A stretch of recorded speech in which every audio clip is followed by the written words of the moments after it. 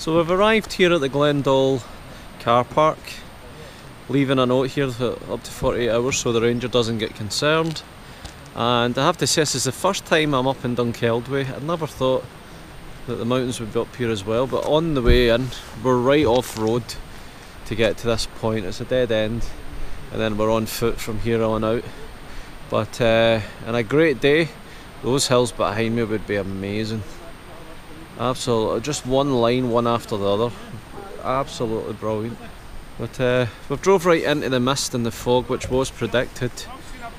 We had a good sunny day on the way up, but it's not here for us. We've got about an hour and a half to two hours left of daylight, so it's time to crack on.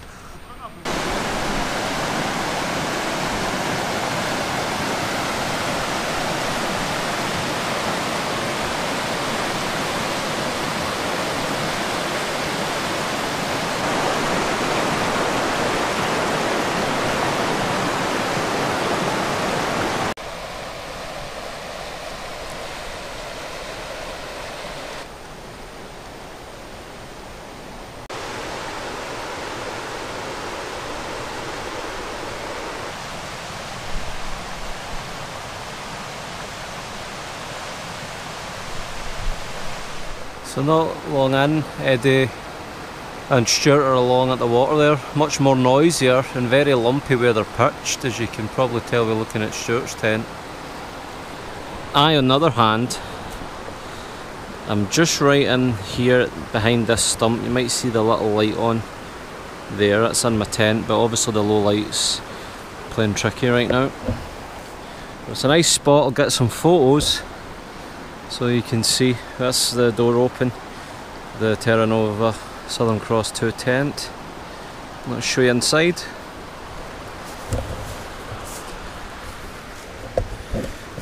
So there's some of the gear around the side here. And inside the, the nest.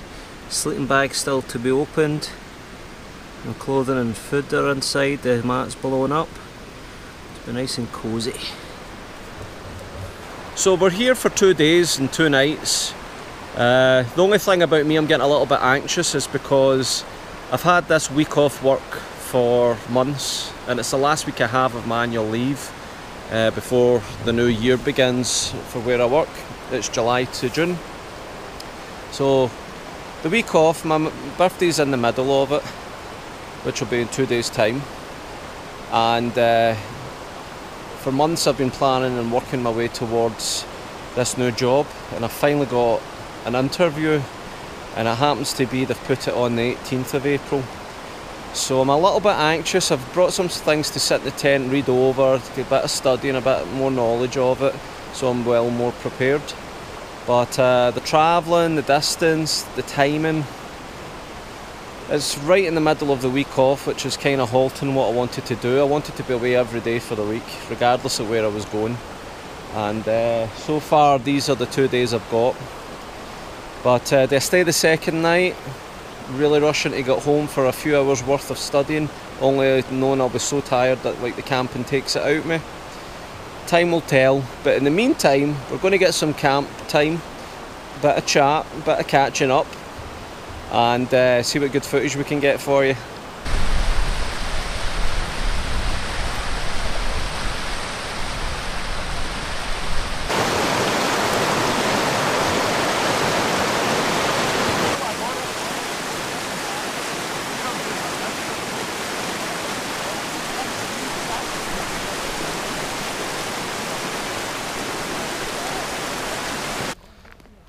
So after a couple of hours sitting enjoying the coziness of the camp, we have decided to go a little hike.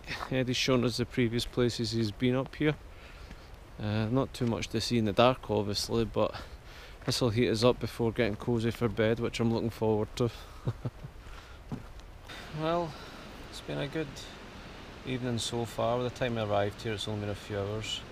We went a little mile walk there in the dark, had torches and such basically now it's uh, it's time for bed. I'm just going to chillax.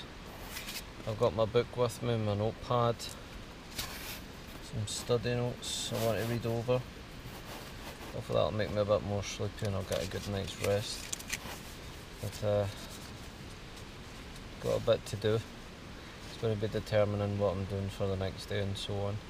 So uh, yeah, thanks for joining me so far, guys. It's good to get away. The other thing I was going to say is some of my recent videos. I mean, obviously to do with the prophecy stuff, living up to the name Prophecy Prepper. But uh, it's like I've done the one about Russia and the UK and EU and everything that's been happening. I haven't done anything in this recent week where the world's basically holding its breath yet again with the further strikes in Syria. I feel that sometimes when it takes so much time, so much research to then make a presentation and then put that presentation into work with editing. It is a full time job with the amount of hours getting done on it. And the other thing is as well is when you focus on that it becomes very negative. It becomes a depression almost in itself from the, the content. So sometimes it's best when I do a couple, I need a break. That's why I haven't done a video in a couple of weeks. And even with everything happening in the world, sometimes apart from the videos of that stuff reporting, hearing it on the news, everyone talking about it, you take yourself up a place like this very quickly. Doesn't matter. It's, it's, it's good to get a detox from the world by coming here. So I always recommend camping, getting into nature. It's a remedy, it's a medicine in itself. So uh, without further ado, I will say good night and I'll see you in the morning. So, so the guys are packing up. The rain was on for a few hours, early hours of the morning until the past half hour. All my gear's packed here myself. I was in here, it's a bit brighter, there's the patch right in front of you where the tent was. Nice bit of woodland. So, so Denson Ranger, I'm no longer a day late. Eddie come up basically says the plan today is back to the cars, get a breakfast there, although I would like that in the woods. And then uh, we're going to hike up Corrie Fee. The worst weather's still to come, especially tomorrow. So once we come back from Corrie Fee, we'll look at another area around about here. It takes up a bit of the time. I'm more inclined to do that hike, get some shots, some scenery footage, but uh, last night in there reading over my notes for this interview, nothing's staying in. I need to really get home, get the flashcards, get different ways of studying, read over things. Tomorrow's my birthday, which I'll be spending a lot of the time studying. And then the day after the early morning is the interview. So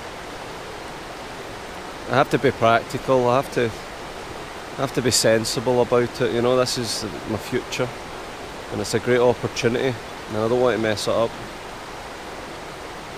so I need to break it to the guys that that's what I'm thinking of doing. I'll make most of the day of it here but then I'll be heading back later tonight I think. I think it's wise. It's just the fortunate that I've had this week off work booked in for the last few months, and then the interviews came bang in the middle, and uh, it just basically put plans of the whole week away. So on the trail last night, folks, this is where we're walking along. The place is hoaching with frogs.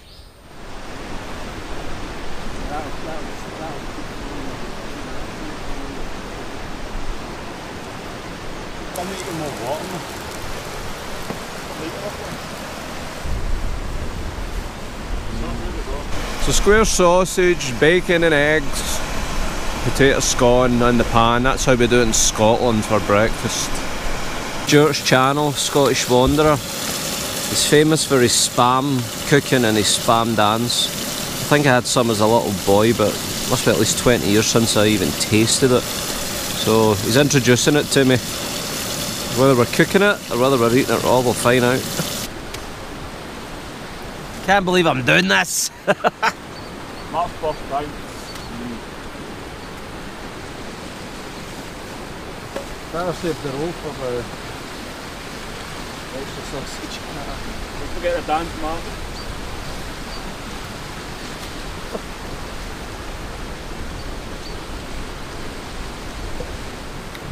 It's alright. I wouldn't say it's not nice. But I wouldn't be a rush to be doing it again compared to the other stuff I've got here. but thanks for the introduction.